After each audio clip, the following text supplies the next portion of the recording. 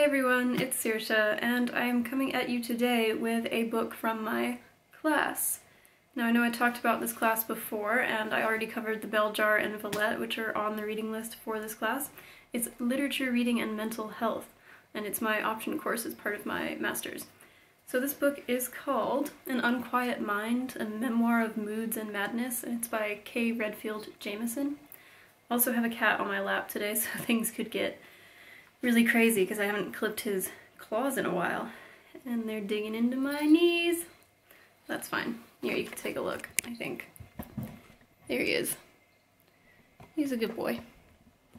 Okay, so, ooh, that's too high. Hi. Um, so I'm just going to read the back. Um, first, let me say, obviously I was very excited because this is a memoir and I'm obsessed with memoir. Um, yeah, so I'll just tell you what it says. Dr. Kay Redfield Jamison is one of the foremost authorities on manic depression or bipolar disorder and has, I didn't, that's not like saying it doesn't exist, that's just in brackets, and has experienced its terrors and cruel allure firsthand. While pursuing her career in medicine, she was affected by the same exhilarating highs and catastrophic lows that afflicted many of her patients. From her jubilant childhood to the disquiet that has dominated her adult life, she charts a journey through her own mind and those of others. So, really fascinating just from the beginning, um, knowing that she is a doctor, that she spent most of her professional life studying uh, bipolar disorder. She she refers to it throughout the whole thing as manic depressive illness, um, and that's I think partly because it was published in 1995, so the nomenclature has sort of changed in in medicine. Um, but you probably hear me say manic depression more, and it's because that's what she calls it. Um, so, yeah, memoir. I, I find it so compelling because, I don't know, it just moves me more because I know that it's real. And it's not that I haven't been moved by fiction, of course, like hi, Lord of the Rings and Harry Potter, but there's something about knowing that this person who wrote this is brave enough to put this down on paper, um, especially with Dr. Jamison because she knew that this could really hurt her career. You know, that she could possibly be um, taken out of her position for this, um, for being open about it, because what would people think if somebody with manic depression was trying to treat people with manic depression? It really goes into the the questions of that, like what, how do we feel about um, people with mental illness treating others? Um, and as it turns out, we don't need to be so worried because they absolutely can. And there's a point in here that I thought was great that she was afraid she was going to be fired from this position and this doctor said if we got rid of everybody that works here who has uh, manic depression or depression or anxiety, um, we would not have a very big staff and it would be a much less interesting staff. So let me just read and talk about some of the lines in here that stood out to me. Page numbers are hard, you guys. They're just hard to find. Much like crossing the Bay Bridge when there is a storm over the Chesapeake, one may be terrified to go forward, but there is no question of going back. I find myself somewhat inevitably taking a certain solace in Robert Lowell's essential question, yet why not say what happened? And I just love that because it's true, we can't go back. So in going forward, we have to grow with our experiences. We have to learn to grow with our trauma. And this is what I love about memoir that, that you get to just say, look, this is me. I can't change it, so I'm going to talk about it in the hopes that maybe it'll help other people. Um, and that's why I love to write memoir. And hopefully, you know, I'll be published one day. That's, yeah, that would be cool. But you know, that's like a one in a million chance. This is a quote from Hugo Wolf. It says, I appear at times merry and in good heart, talk too before others quite reasonably, and it looks as if I felt too, God knows how well within my skin. Yet the soul maintains its deathly sleep and the heart bleeds from a thousand wounds. And I think this is a great way to say, you have no idea what anybody's going through on any given day, at any moment when you see them, you have no clue what's in their head, what's in their heart, if they're coping with something in a way that is working or if not. And I feel really strongly about this because I get told so often um, that I must be so happy. Aren't you so happy? Like your life is great. You look at all the things you've done. And and nobody stops to think it doesn't matter what you've accomplished or what you see other people accomplish like it doesn't change what's in your head. And the people who have accomplished the most or seem like they should be the happiest to you, they could be the saddest people in the world. You have no idea. And especially when somebody is open and talks about having depression, as I do, to be told, oh, well, you should be happy. I think you look happy, so you're happy, right? Like, because that's the only way that they can deal with it, you know? It just isn't right. You have to understand that everybody has their own battle all the time. And it's really best to just listen to what people say about themselves and believe they're being honest. And, but you know, sometimes people try to do the opposite and say that they're doing better than they are. So you can't really just take everything at face value. Really, the best thing is to just check on people, check on your friends, check on your family, and, and be there for them in any way that you can. And don't just say, oh, they're fine because I think they're fine, or because they say that they're fine, so don't need to worry about anything. Um, this book, it brought up so many interesting and controversial points. Um, at one point, she's working with another doctor, and um, they both have mental illness, and she said, somehow, like so many people who get depressed, we felt our depressions were more complicated and existentially based than they actually were. Antidepressants might be indicated for psychiatric patients, for those of weaker stock, but not for us. It was a costly attitude. Our upbringing and pride held us hostage.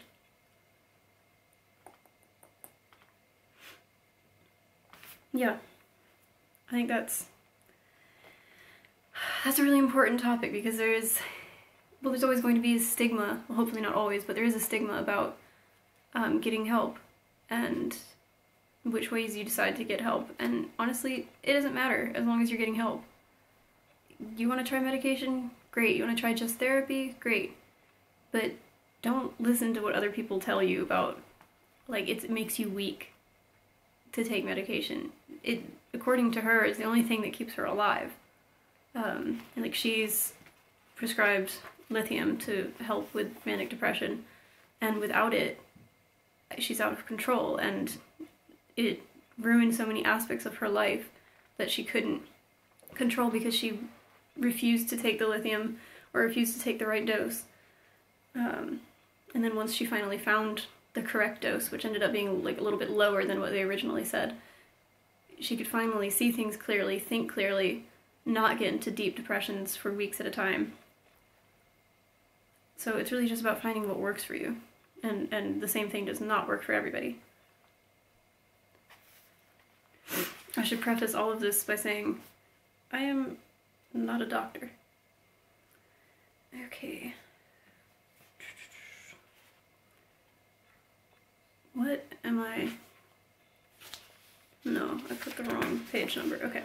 So she talks about how she gets, uh, she buys a horse because she thinks that'll help, um, like, you know, like a therapy horse. But she likes horse riding. Um, so she says, in the clouds and silver linings department, Whenever I rode him, I was generally too terrified to be depressed. And when I was manic, I had no judgment anyway, so maniacal riding was well suited to the mood. I just thought that was a bit fun. I mean, she does have like some lighthearted moments because you can't, like, you take your, your illness seriously, but I don't want to say you can't let it control your whole life, but it, it is good to be able to find those silver linings, um, especially when they're the hardest to find and you don't even want to look for them. 68. Oh yeah. Um, says, which of the which of my feelings are real? Which of the me's is me? The wild, impulsive, chaotic, energetic, and crazy one, or the shy, withdrawn, desperate, suicidal, doomed, and tired one? Probably a bit of both, hopefully much that is neither. Virginia Woolf in her dives and climbs said it all. How far do our feelings take their color from the dive underground? I mean, what is the reality of any feeling? I just thought that was interesting. It's like, um, she talks about Dr. Jekyll and Mr. Hyde too in this. And it must be so scary to not really know um, which part of you is the real you. And and she talks about her struggle with taking medication and, and not wanting to because she's afraid that she's going to lose who she really is. So is she really somebody who's manic? Is she really somebody who's depressed? Or is she really this person who's dulled with um, too much medication? And it took her many, many years to find out.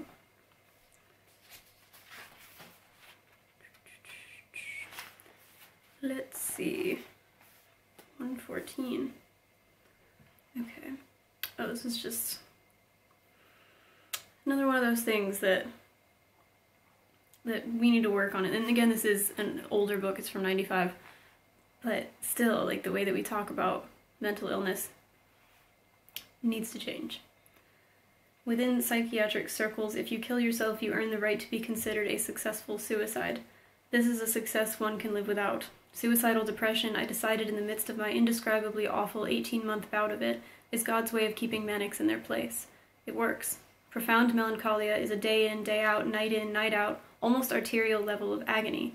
It is a pitiless, unrelenting pain that affords no window of hope, no alternative to a grim and brackish existence, and no respite from the cold undercurrents of thoughts and feeling that dominate the horribly restless nights of despair. So it was really interesting to read about mania um, in this book because I feel like I've read a lot about depression and anxiety, but hearing her talk about the way that she would be so high for a while on this in this manic part of her illness, and then she would come down so low, and she would be in, in these desperate depressions. It's really, really just scary, and she describes it really well in this book. So I'll leave a lot of, her, of it for you to discover for yourself. Oh, I love this description. My friend kept a constant watch on me, drew my blood for lithium and electrolyte levels, and walked me repeatedly to pull me out of my drugged state, as one would move a sick shark around its tank, in order to keep the water circulating through its gills. Good one.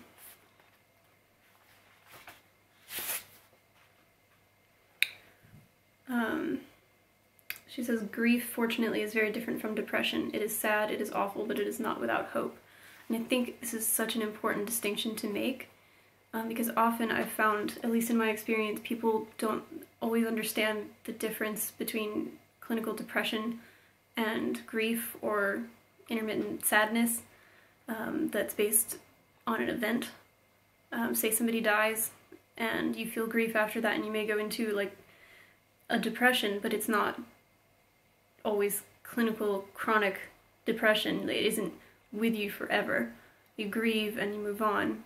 Um, everybody's different again, but for people like me, depression is just there. It's part of who you are, and it doesn't have a reason.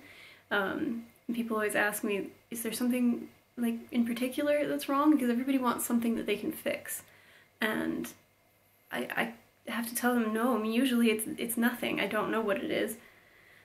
I just feel this way, and fortunately, it, you know, it it's up and down. It's not always low, low, low. Like I, I have been through ones that are very low for a long time, and it's the scariest thing in the world. Um, but yeah, I think it's important to talk about that difference.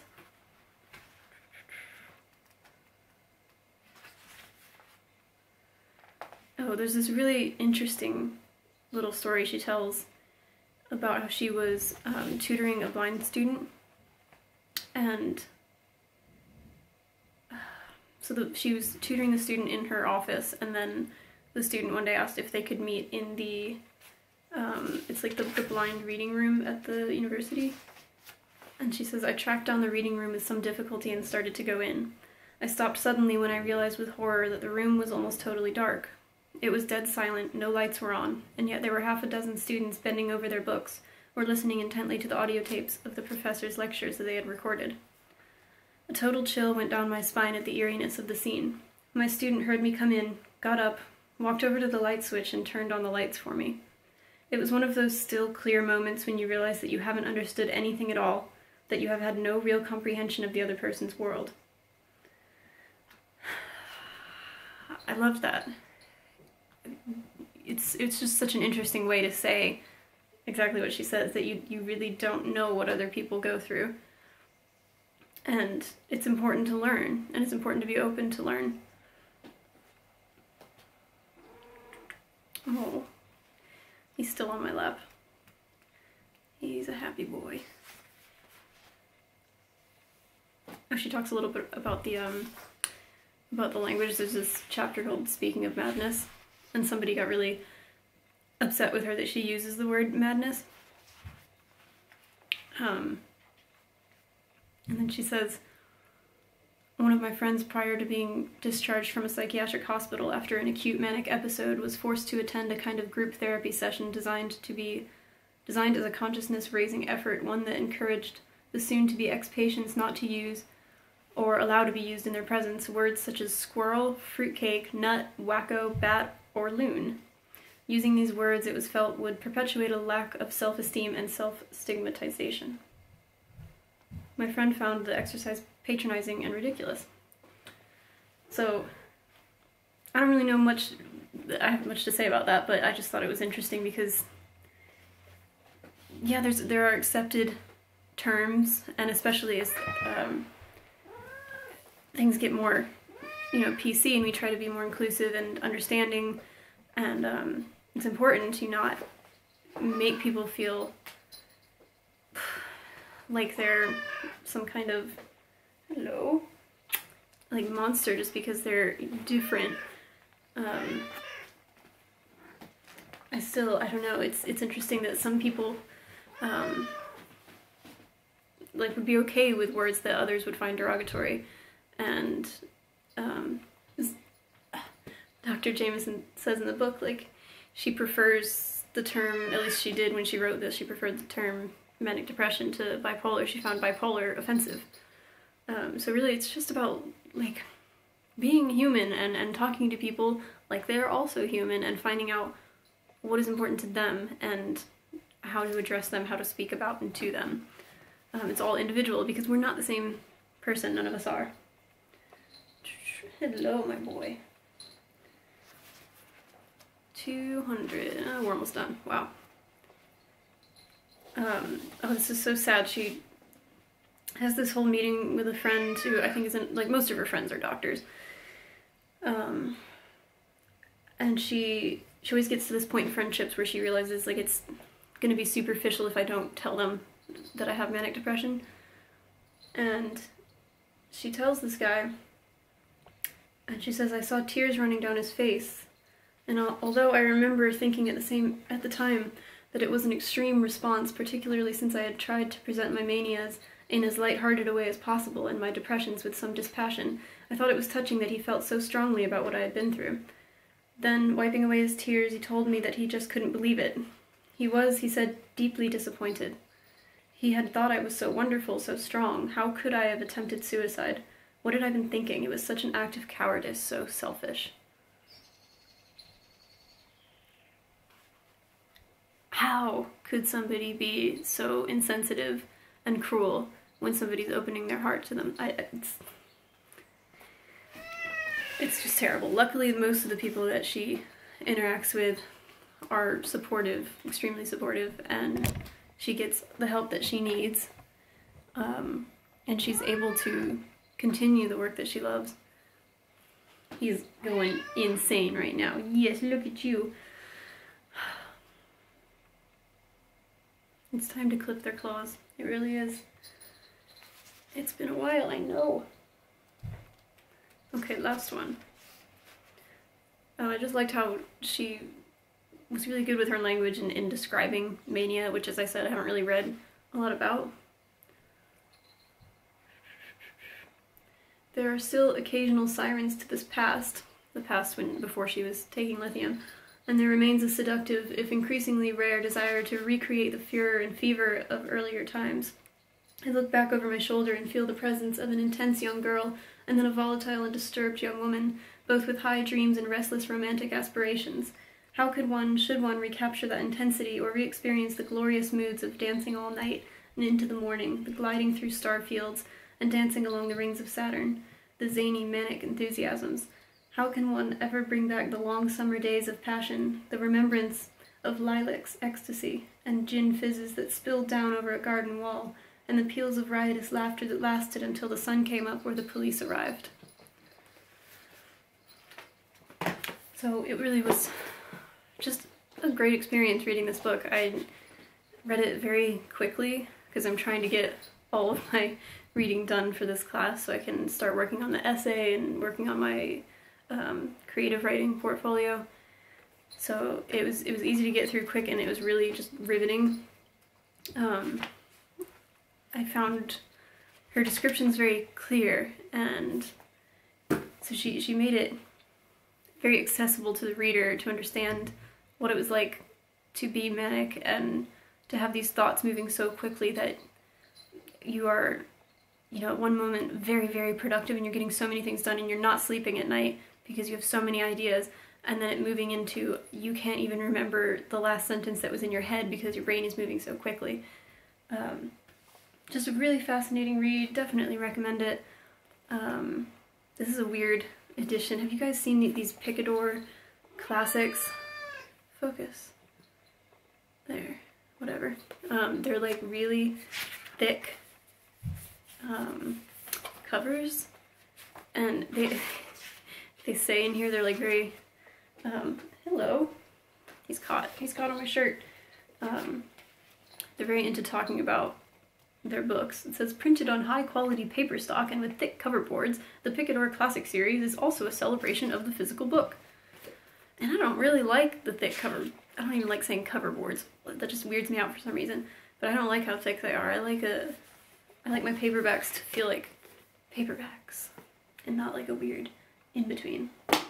Anyway, uh, hopefully soon I will be able to film a video on a book that's not for class um, but we'll see. It's about to be the most busy time ever because I have just the rest, basically the rest of the month of March and the first week of April to uh, write my essay. I have to write a piece for workshop this week um, and to edit, extend, compile stories for my writing portfolio that will be graded.